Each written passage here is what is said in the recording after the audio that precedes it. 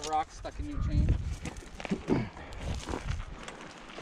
Now if you lean it down basically on its side, and then just rock the, the wheels back and forth, and tilt it over towards you, Like lean it way over, and then and it'll just shift the bike down.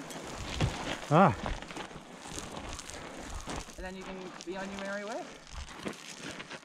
Give it a try with a little bit more speed. And need a little more juice going up, eh? Yeah, well, it's really shitty. It's like startup on it. It's really like whoopy a little bit. Yeah, I kind of did a little bit of that and it freaked me out a bit. Yeah, Okay. that's okay. I say good try.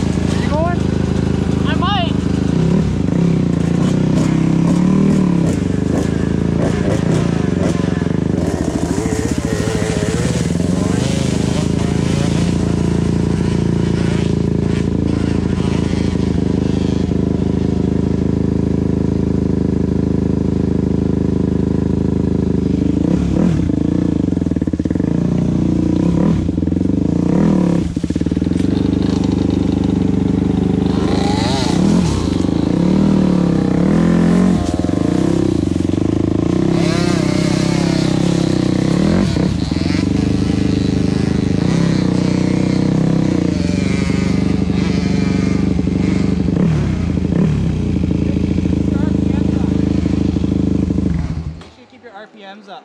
Yeah, I know, I know. It just went, when I hit that little bump at the bottom, it kind of went like this and I let go of the Oh, throttle and. Yeah. I lost her there, yeah.